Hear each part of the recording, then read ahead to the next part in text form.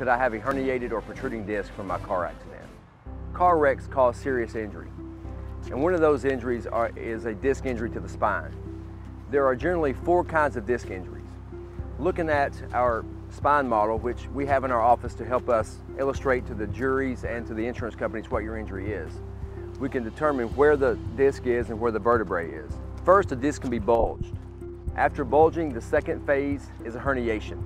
After herniation, there's a protrusion and then an extrusion.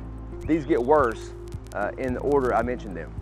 A bulging disc is a disc here that's slightly out from its recommended or neutral place. A herniated disc is a tear in the lining of the disc, the outer part of the disc. A rupture or protrusion is when the inside part called the nucleus pulposus leaks out and could get onto the nerve.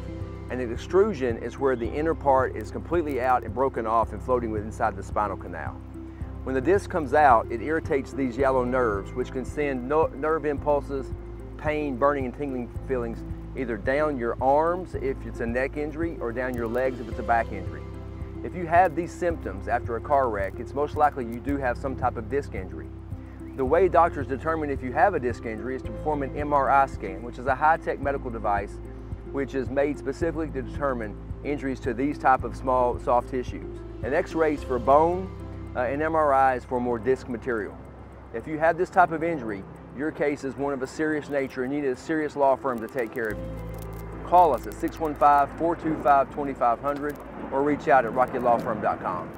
If you feel like everybody's against you and nothing's coming out right, and you've been hurt, there's somebody out there looking for you, and his name is Rocky. He's a bulldog. He's part of my family. Very, very humble man. And he won my judgment. Rocky will not back down. Rocky fought for me. Rocky will fight for you. Rocky McElhaney Law Firm. We fight for you. Go get him, Rocky. Go get him, Rocky.